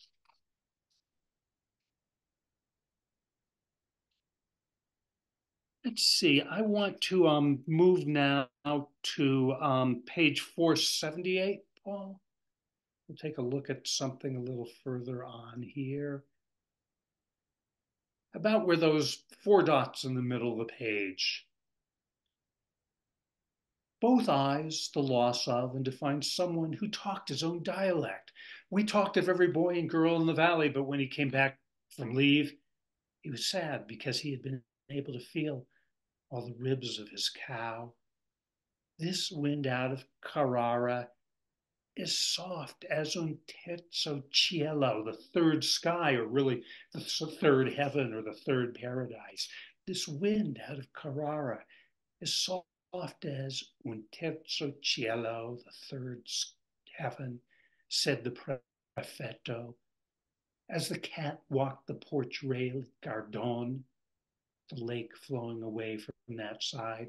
Keep an eye again on the cat showing up. I think when cats show up in this poem, we know we're we're about to move into some kind of vision. As the cat walked the porch rail at Gardone, the lake flowing away from that side, was still, as is never in Sirmio, with Fujiyama above it. La Donna, said the prefect, in the silence. And the spring of their squeak doll is broken. And Bracken is out, and the BBC can lie, but at least a different bilge will come out of it. At least for a little, as is its nature, can continue that is to lie as a lone ant from a broken ant hill from the wreckage of Europe. Ego scriptor. Ego scriptor, I, the writer. This may be one of the most cited lines from the whole of the cantos. It's just two lines that show up there, but again, showing Pound's mind and mood. I can't imagine in the earlier cantos he could have ever come up with a metaphor like this. Must must be something he actually down on his hands and knees saw, probably right outside of his cage, a lone ant from a broken ant hill, and then suddenly realized that's me, ego scriptor, I the writer from the wreckage of Europe. As a lone ant from a broken ant hill, from the wreckage of Europe, ego scriptor. It's quite a come down for a guy who thought he could write a poem that would stop war. The rain has fallen the wind coming down out of the mountain.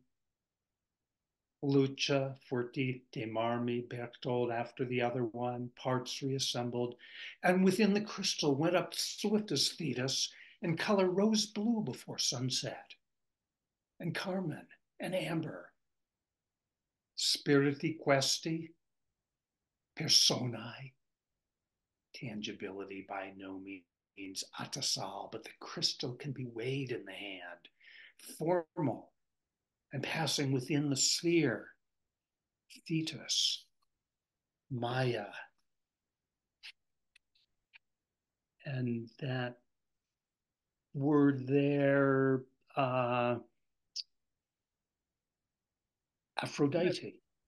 Thetis, Maya, Aphrodite. Can you sort of see that? The A and the PH and the R that looks like a P, Aphrodite. Thetis, Maya, Aphrodite. No overstroke, no dolphin fast, faster and moving, nor the flying azure of the winged fish under Zoagli when he comes out into the air, living arrow. And the clouds over the Pisan meadows are indubitably as fine as any to be seen from the peninsula. I, Barbaros, have not destroyed them, as they have Sigismundo's temple. Divai Ishotai, and as to her effigy that was in Pisa, laddered swing jump as for a crescent from the cross. Oh, white chested Martin, God damn it! As no one else will carry a message. Say to la cara, amo. Just stop for a moment there the way Pound, you know, moves, he's through this. He suddenly sees, I think he just sees this white chested martin. He's looking at the bird. Oh, white chested martin, God damn it, as no one else will carry a message. Say to La Cara, Amo. And that may be Catullus he's thinking of. Uh, Catullus who said, I love and I hate. Amo, I love. Her bedposts are of sapphire. For this stone giveth sleep. And in spite of oi barbaroi, the barbarians, pervenche, a sort of dwarf morning glory that knots in the grass, and a sort of buttercup at sequelae, the paradis n'est pas artificiel states of mind are inexplicable to us. Paradise is not artificial. States of mind are inexplicable to us. And then these words mean something like weeping, weeping, weeping. LP gli onesti, gli onesti, the honest eyes. J'ai eu pitié des autres. I have had pity for others. Probablement pas assez, but probably not enough. And at moments that suited my own convenience. Le paradis n'est pas artificiel. L'enfer non plus. Hell is not either. There's a lot of languages in here French, Greek, Italian, French again, more French. And yet, look at the movement of this. Le paradis n'est pas artificiel. States of mind are inexplicable to us. Weeping, weeping, weeping, honest eyes. J'ai eu pitié des autres. I have had pity for others. Probablement pas assez. Probably not enough, and at moments that suited my own convenience. Le paradis n'est pas artificiel. L'enfer non plus. I think you can feel the Pound moving from paradise to l'enfer, the inferno, in nine lines here.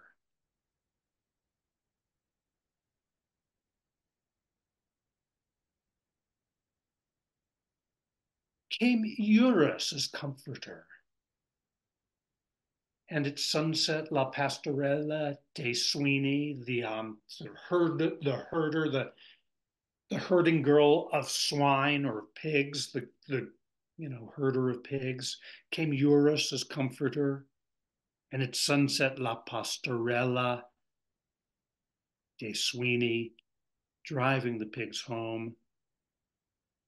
Benecomata Dea. The Benecomata Dea means fair tressed or fair haired goddess. I mean, this is his mind now. He can look out and see the little herding girl with her swines driving them home and sees her as a goddess from his cage under the two winged cloud as of less and more than a day. By the soap smooth stone post where San Vio meets with the Canal Grande, between Salviati and the house that was of Don Carlos. Should I chuck the lot into the water? Le bozze a lume spento. Le bozze means something like the proof sheets. He's suddenly remembering himself as a young man in Venice when he'd gotten, he was getting his first book published, A Lume Spento, and looking at it, he must have fallen into despair and thought, this poetry is horrible. Should I chuck the lot into the tidewater? He's by Il Canal Grande between Salviati and the house that was of Don Carlos. Should I chuck the lot into the tidewater? Le Bozze, the proof sheets, A Lume Spento and by the column of Todero, should I shift to the other side or wait 24 hours? Free then, there in the difference, in the great ghetto left standing. I don't know what he means by free then, unless he's just thinking back to a time when he was a young man tormented by his poetry, but was free. Free then, there in the difference in the great ghetto, left standing with the new bridge of the era, where was the old eyesore, Vendramin, Contarini, Fonda, Fonteco, and Tullio Romano carved the Sirenes, as the old custode says, so that since then no one has been able to carve them. For the jewel box, Santa Maria de Miracoli, de Grece, San Giorgio, the place of skulls in the Carpaccio, and in the font to the right as you enter are all the gold domes of San Marco. He's just thinking back to his early days, wandering around Italy, wandering around Venice here. And the font to the right as you enter are all the gold domes of San Marco. Sort of extraordinary image. You look in the fountain and you see all the gold domes of San Marco. Maybe that's an image of what he sees the mind as now. And now notice what happens here. Arachne chemi porta fortuna. Go spin on that tent rope. The arachne, of course, is the spider who brings me fortune. Chemi porta fortuna, who porta, portals, who brings me for good fortune spider who brings me good fortune, go spin on that tent rope. Again, he's looking at the littlest creatures. These are the wild animals that give him power. The spider, Arachne, Jamie Porta Fortuna, go spin on that tent rope. Uncle George and Bracetalos Abazzi voce passate per questa via. Does D'Annunzio live here? said the American lady. KH. I do not know, said the aged Veneziana. This lamp is for the Virgin. Non combattare, said Giovanna, meaning, don't work so hard. Arachne che mi porta fortuna, spider who brings me good fortune. Athena, who wrongs thee? And then Greek words that mean who wrongs you. That butterfly has gone out through my smoke hole. It is companions here. Now it's the spider, now it's the butterfly who goes out through his smoke hole. Uncle George observing Corporal or whatever, Volpe's neck at the Lido, Lido and deducing his energy. Uncle G stood like a statue. Rutherford Hayes on a monument as the princess approached him. You from New England? barked the 10th district. It came over me as he talked. This is Daphne, Sandro. How, after 30 years? Trovaso Gregorio Vio. Don't let him get you, bird the bearded dottore. That's a doctor. When was the Scotch kirk in Venice to warn one against Babylonian intrigue? And there have been since then very high episcopal vagaries well, my window looked out on the square where Ognissanti meets San Trovaso. Things have ends and beginnings. And the gilded Cassoni neither then nor up to the present. The hidden nest. The hidden nest is Olga Rudge's little apartment down a teeny, narrow little alley where Pound used to go visit her. And the gilded Cassoni, neither then nor up to the present, the hidden nest. Tami's dream, the great Ovid bound in thick boards, the bas relief of Ishota, and the care in contriving Olim de Malatestis, the long hall over the arches at Fano, Olim de Malatestis. 64 countries and down a boiling volcano, says the sergeant, ex rum runner, the rum being Vino Rosso. Run whiskey, says he. Mountain oysters, listiate con lagrime, bottled with tears, politas lacrimae, elegant tears, bricks thought into being ex nihil, suave in the cavity of the rock, la concha, right through the middle. That butterfly has gone out through my smoke hole. Saeva against Buff the Rose for the background to Leonella. Petrus Pisani thinks that the cameo should remain, that a cameo should remain. In Arezzo, an altar fragment, Cortona Angelico, Poeri Poere Diaoli, Poere Diaoli, sent to the slaughter, Knecht, gegen Knecht, slave against slave, Knecht, gegen Knecht, to the sound of the bung drum, to eat remnants for a usurer's holiday, to change the price of currency, metathemenon. Woe to them that conquer with armies, and whose only right is their power.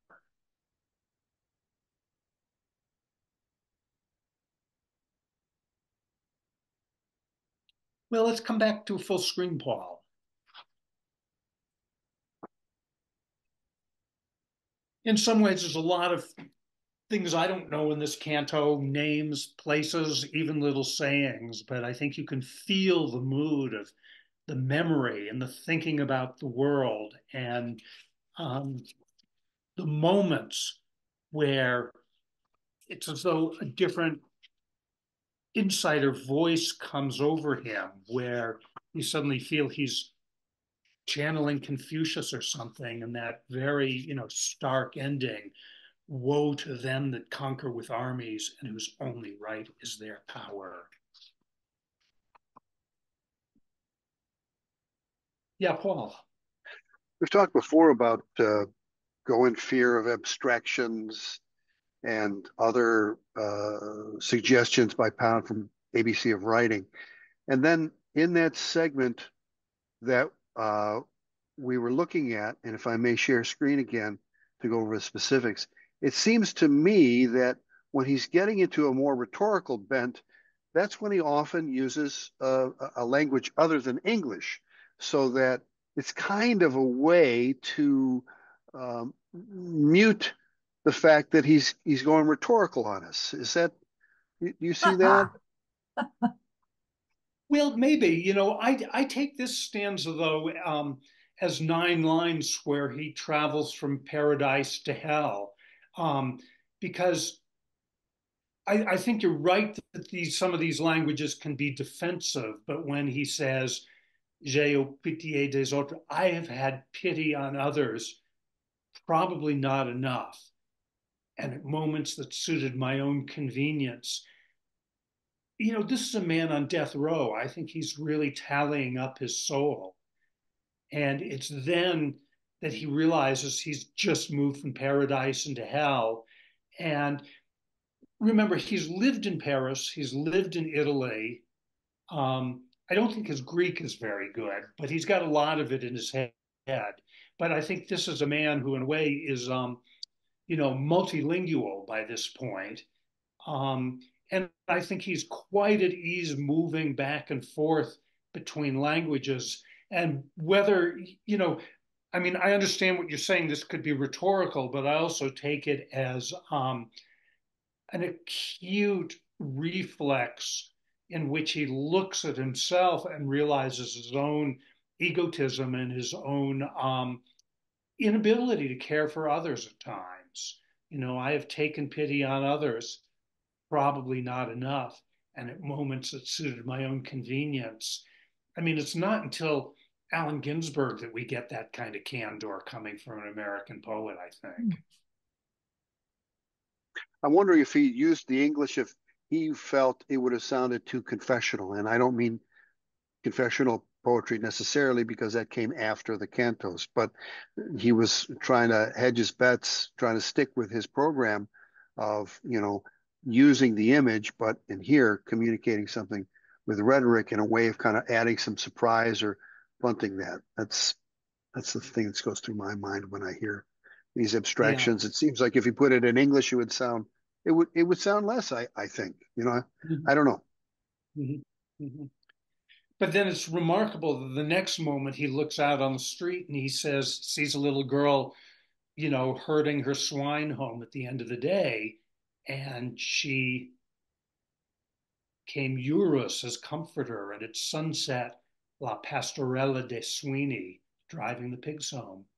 Benecomata Dea, you know, um, beautiful hair of the goddess or, you know, beautiful tress goddess under the two winged cloud as of less and more than a day. Um, I, I think Pound is also really, you know, in a remarkably vulnerable stage here. And in this vulnerability, his he thinks in multiple languages. I mean, I think this is what probably got him confined to St. Elizabeth's. You know, he probably talked like this to the psychologists who were, um, you know, later on interviewing him, and he couldn't stay in one language. You know, he he he is no man. He really doesn't know who he is. Is is his language English? Is he American? He's been living in Italy for decades. He's been reading books for decades. He's been studying Chinese. And now he's sort of reduced to where his companions are a swine girl who goes, swine herding girl who goes by, a butterfly, a spider, an ant on a battered ant hill. I mean, you know, I think there's a, you know, like almost a mental breakdown that allows something else to come through. So when you even use the word term method, you know, I don't think he's got a method here. I think his method came before Canto 74. Hmm. Uh, Andrew, do you think that, that Rimbaud had already written Je suis, Je suis, et, Je suis un autre? Um, when, when I saw J'ai uh, pitié des autres, um, I, I first saw that and I thought, well, maybe following up on Paul's comment, sorry about my dog, um, that um, his multilingual what you call kind of maybe potential defensive language is a guy from Idaho who's trying to wrap in some more, you know, down home idiomatic phrases, but at the same time talk to the learned poets. Um, in his secret language, I mean, you know, Kenneth Koch said poetry is another language. Um, mm-hmm. Plath made it, you know, metaphor as a different language. He's using literal different languages, creating um, a global kind of ideogram, a communication as an asterisk to multiple places and peoples, maybe, but um, it does seem um, like he is othering himself a lot. And and I actually really respect. I mean, can you imagine being in a cage? subject to the elements and still drawing on these languages and these and these and these knowledges rather than just reverting to the sensory, the the embodied experience that he's having. Not that that would have been a bad thing, but I'm wondering if he is he's so wedded to his legacy still that he's just got to be consistent with um Mm, you know yeah later in the cantos he has a remarkable line he says it can't all be done in one language oh and you could take that as poetry scholarship world peace or his own mind can't do it in one language. It can't all be done in one language. And that's what I feel when I read these. He can't talk in one language at this point. Or let's say he can't say what he needs to say in one language. He needs multiple languages here in order to say what he needs to say. In order to be true to it, in order to not have it be the painted image at the end, so to speak right? Yeah, and then to think of like who is he writing for? He thinks he could be hung any day. So if he sees the cow, the the herd, the herding girl of pigs, the pastorella, he may as well speak to her in her own language. You know, this could be the last person he'll see for all he knows. You know, when he calls the spider arachne, I think he's actually having a vision. You know, it's not just, you know, this is not just like some old spider. He's not going to whack the spider. He sees the spider, who's the weaver of webs and fate, like the fates themselves. And, you know, his fate is in that spider web. You know, there's nowhere else for him to turn for his fate. So she is a Arachne. She may be just an ordinary spider, but she is a Arachne. Well, and then later in what Canto is it 80, the one where it's kind of a elaborate, almost ritual where he's almost calling out the gods and goddesses, uh, each in their own name, as he keeps repeating. Yeah. Uh, and uh, he sees all the things in the natural world as emanations of the uh, of the spiritual world. Yeah. Calling it all up to arms, and so to speak, in that poem.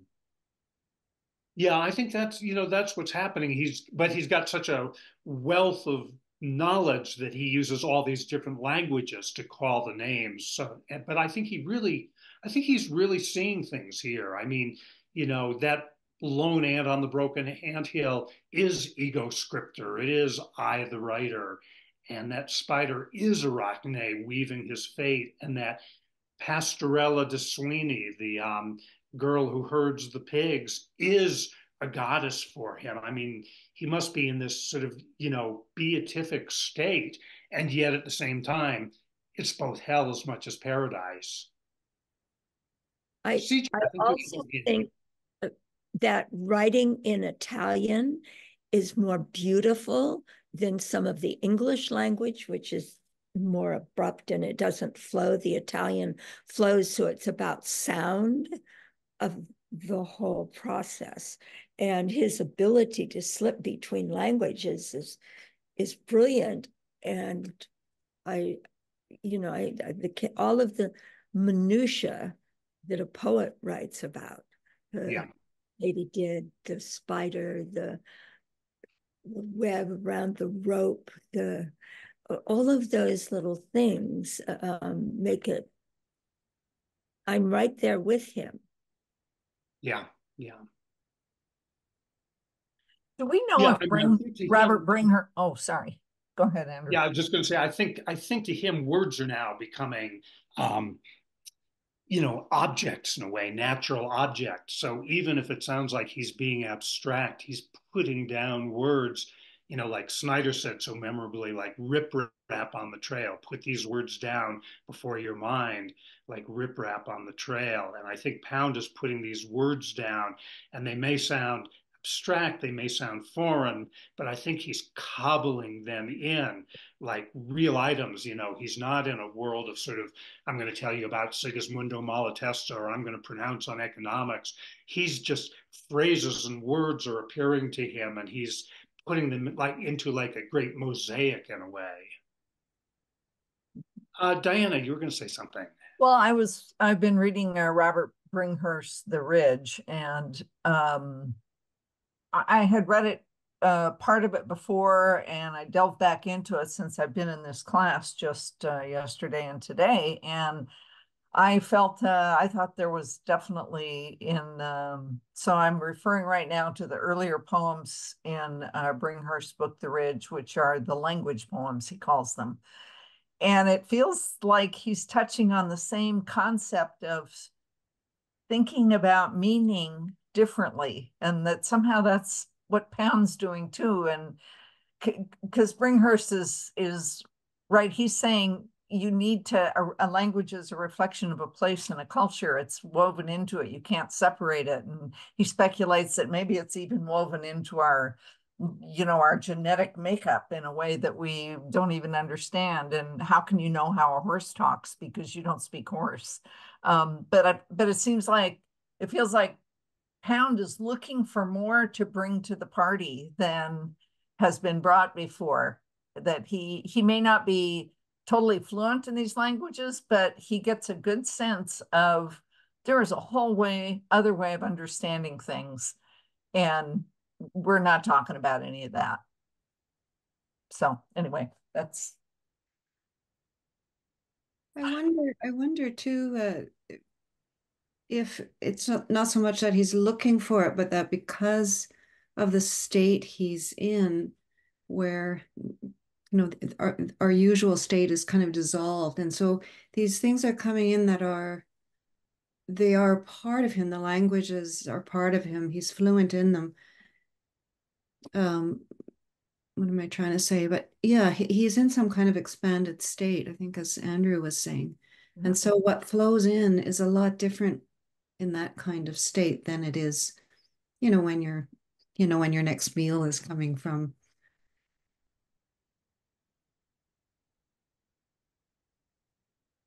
And so interesting that he's got nobody to talk to. And I think, you know, these these, you know, the butterfly, the arachne, the katydid, the the lone ant, you know, these are now these are now his companions. And I really think they've become the animal powers. And it seems that every time he sees one, um, he he has a new understanding. I mean, I find so powerful that sense of the lone ant from a battered ant hill, from the wreckage of Europe, ego scriptor, I am the writer. It's like there he is, knowing he's just like a lone ant on a, you know, he's probably seen a jeep just, you know, unwittingly drive across an ant hill, and one last ant is scrambling around or waving its antenna in panic and confusion around you know the the wreckage. And you know so he's starting to see these things. The fact that he sees the katydid and first sees it and then sees its color and then sees its missing wing. Um, you know and i put all these things together with you know that that french of i've had pity on others, probably not enough. And at times, you know, that were for my own convenience. And then he immediately sees, you know, paradise isn't an artificial, hell isn't either. And, you know, he's clearly in a hell of remorse, regret. So, who is the reoccurring cat? Camp Kitty. Well, the cat that is always walking on that rail at the Gardone, we don't really know except that it's a cat he encountered and it shows up time and again in the cantos. It seems to have been on a railing maybe over the lake where he was looking at the villa of Catullus. But what strikes him is not the Villa of Catullus, this great historic poetry place, but somehow the cat. And I think it becomes, in a way, you know Dionysus that you know it's like this it's it's a symbol of from the other world. It's a symbol of the supernatural power of Dionysus. And um, just like you know so I think he I, I think it's I think it's a cat that appears in his mind and that's the cat. For, for whatever reason we have no idea but it's the cat that appears in his mind. And later on there's that uh, all the everything's turning into lynxes Lynxes, yeah, yeah, yeah, yeah. We'll get to that. The great, you know, chorus of uh, "Oh Lynx, Oh Lynx, Oh Lynx." Yeah, and in some ways, I think it's that cat, but whatever it is, it's a supernatural power. It's the cats, or as he says, you know, where we'll get to it later, but when cats appear, nothing is going to happen nothing that is that is visible to the guards. Mm-hmm. So to him, the cat is like, you know, the messenger saying something divine is going to happen, but the guards aren't going to be able to see it. Well, I suggest we break here. We'll pick up in two weeks and read forward if you want to, but I think we'll just pick up and keep going, you know, um, more or less from where we have ended here, which is page 483. We'll pick up with 484 and move forward.